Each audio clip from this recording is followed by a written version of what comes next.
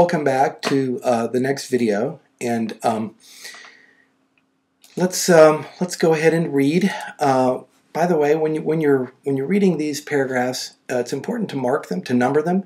So the other two paragraphs that we read first are going to be paragraphs one and two. This is going to be paragraph three, and it's important to mark them each time. And we're going to keep these we're going to keep the, the, you know, the main idea here and the questions that are before us. What do different substances have to do with densities? We're still thinking about that.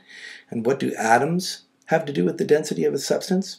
So I'd like you to pause this video just for a few minutes and I'd like you to read this paragraph to yourself. Try reading it to yourself. And then you can restart the video and I'll read it and we'll mark the paragraph. Okay, so pause and I'll, uh, and I'll read it to you in just a couple of minutes. You read it yourself. Okay, so welcome back. And uh, what do atoms have to do with the density of a substance? And why do different substances have different densities? All atoms have three basic structural components or parts.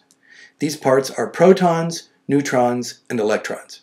The protons and neutrons make up the nucleus of an atom, while the electrons move rapidly around the nucleus in an area called the electron cloud. And you can take a look at the little at the little uh, sketch of, uh, of, a, of an atom down below.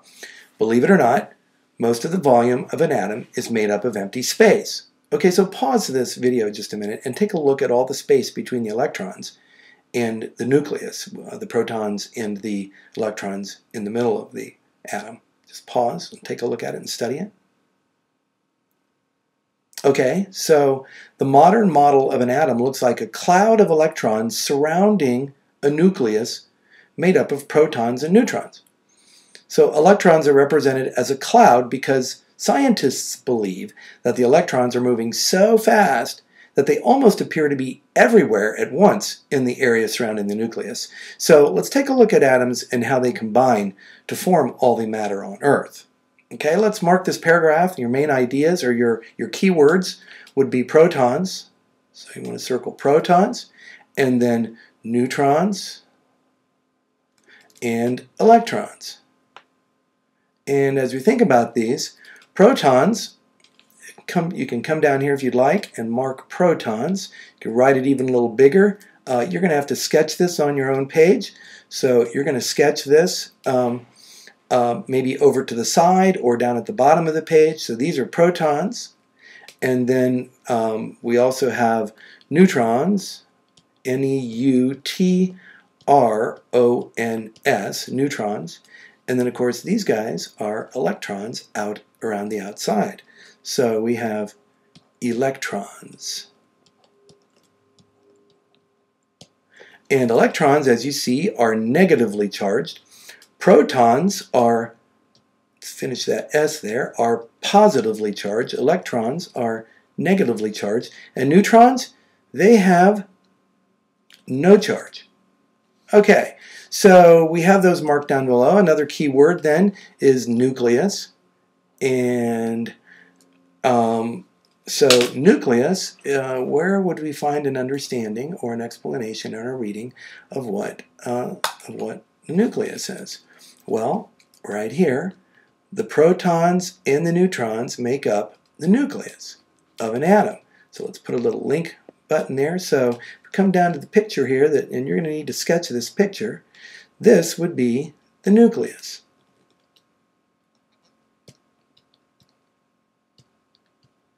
So that would be the nucleus of the atom. Okay, and then um, the other keyword is electron cloud. And we'll circle that in red.